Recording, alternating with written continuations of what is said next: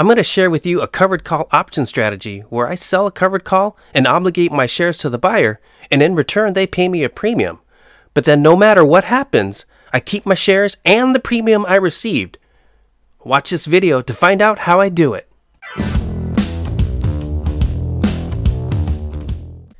If this is your first time to my channel, welcome to Simple Option Trading.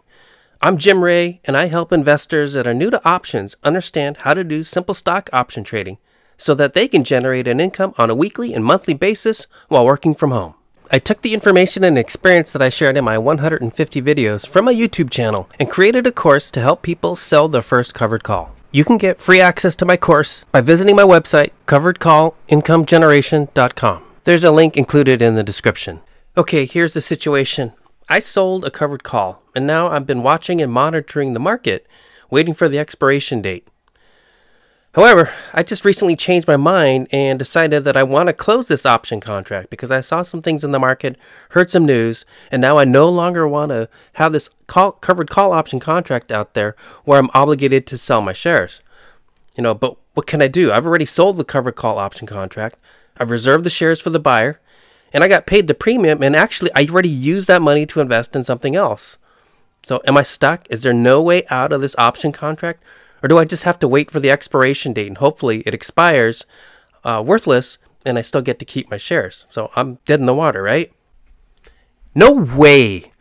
I'm going to show you a way that I can easily get out from under my obligation as the seller of the covered call. Okay, so here's the situation. I own 100 shares of stock, and for this example, it's going to be ABC Incorporated. Now, using those shares, I wrote and sold a covered call option contract, and those shares were then reserved as collateral. In other words, those shares are tagged and made unavailable for me to do anything else with them. And that's because they're used to cover the obligation of the option contract. Now, if the option contract gets exercised, then those shares that were reserved are assigned and sold to the buyer.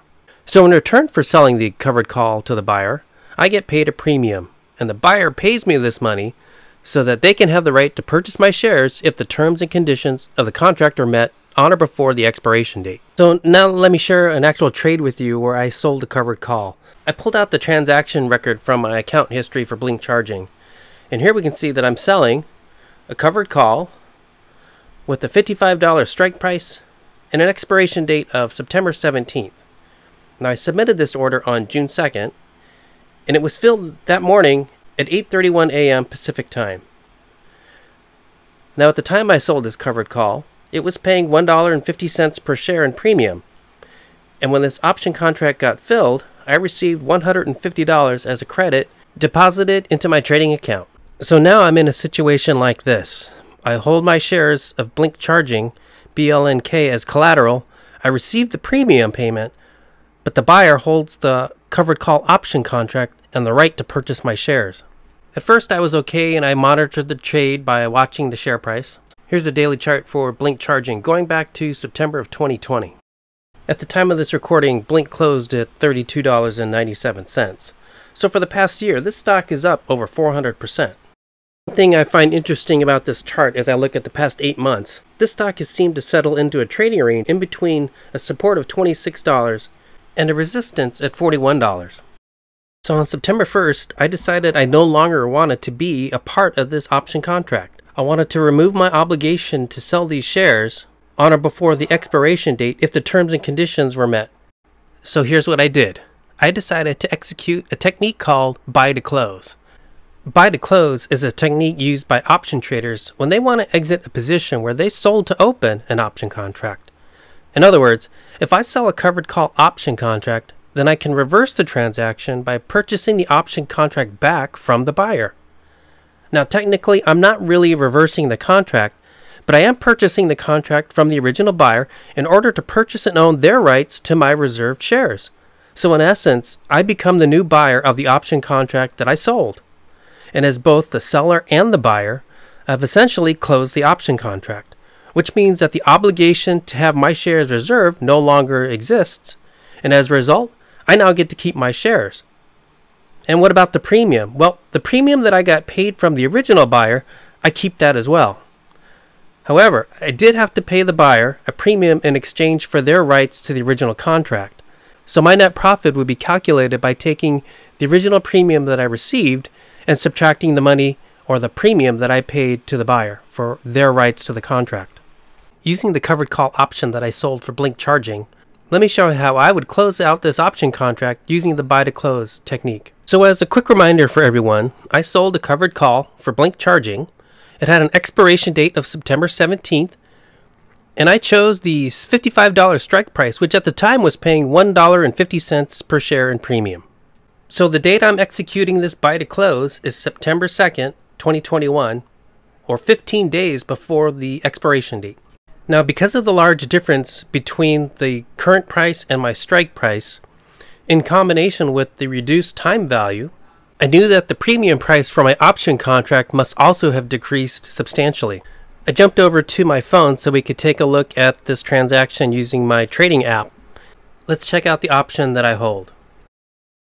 Here you can see the cover call I sold with the $55 strike price. Let's open it up and take a look at the details. I'll scroll down so we can see the numbers. So this is a covered call for symbol BLNK with an expiration date of 917. And when I originally sold this covered call option contract, I received $1.50 per share in premium, and you can see that credit amount shown here. But given the current market conditions, the current price of this option contract is now only 5 cents per share. So what's the significance of this to me as the option seller? It means that I can buy back this option contract and only pay 5 cents per share in premium. Wait, what was that? That's right, when I originally sold this option contract, I sold it for $1.50 per share, and I received a premium payment of $150. And now I can buy back the option contract for only 5 cents per share. Let's do this thing. Back to my trading app on my phone. I'm going to start by pressing trade and then buy Next, I specify the one option contract that I'm buying back. Then I enter the limit price or the premium I'm willing to pay to buy this option contract. Next, let's review the order summary. I'm paying $5 to buy back one open contract which will release my collateral and remove my obligation to sell 100 shares of BLNK for $55 on or before September 17th.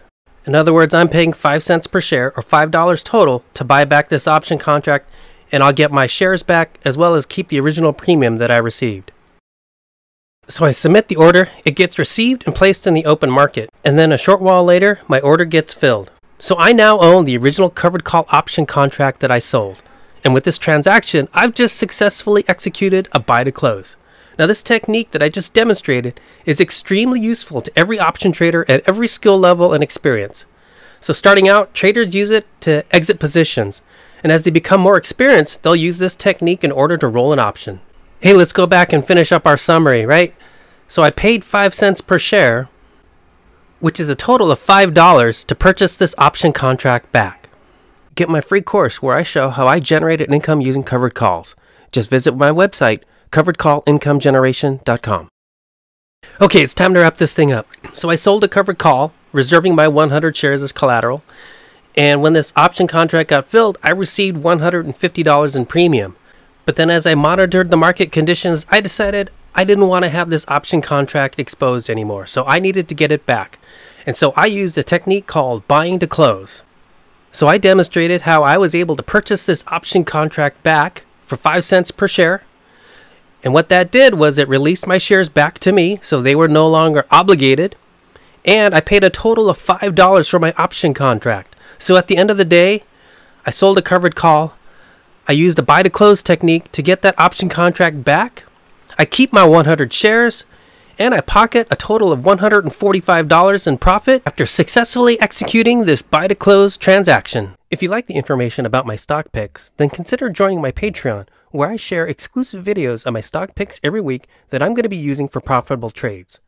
I also include my research notes, stock analysis, and trading strategies for every stock I pick to watch for that week. And of course, all my videos posted on my Patreon are ad free. There's one last thing before I end this video. Now, making profits and generating an income from option trading is a great thing, but keep in mind that all gains made from trading are considered income and are subject to applicable tax considerations. So every month, I save a portion of the profits that I earned in order to pay for my federal and state taxes. So please consult with your CPA, licensed financial advisor, and or tax preparer regarding the tax liabilities for your unique situation. If you're still watching this video, I just want to say thank you so much. I really appreciate it. And I also want to wish you good luck and lots of success with all of your trades.